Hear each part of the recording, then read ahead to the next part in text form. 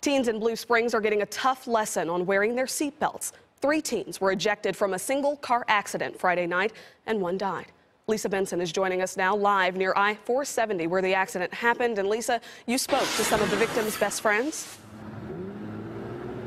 That's right. The three teens had just left a birthday party and they were on their way home when the accident happened. And right now, her friends still are having a hard time believing that she never made it home.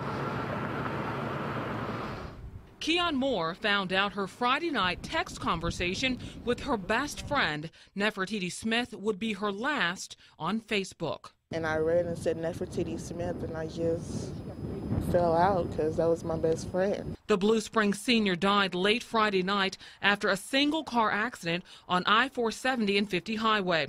The driver of the 2003 Mitsubishi Eclipse lost control of the car and hit a guardrail, ejecting all three people in the car.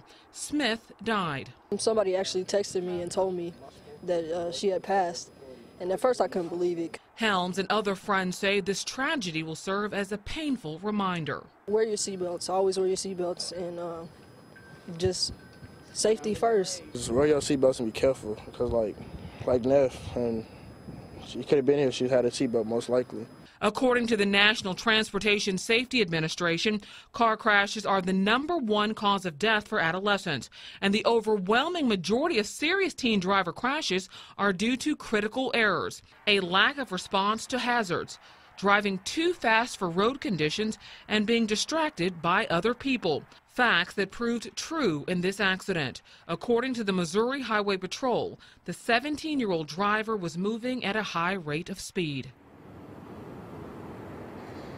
Now, the driver and the other passenger are still in the hospital. They are listed in serious condition today. Now, the friends have set up a GoFundMe page to help the Smith family. If you're interested in helping out, just go to our website, kshb.com. Reporting live, Lisa Benson, 41 Action News.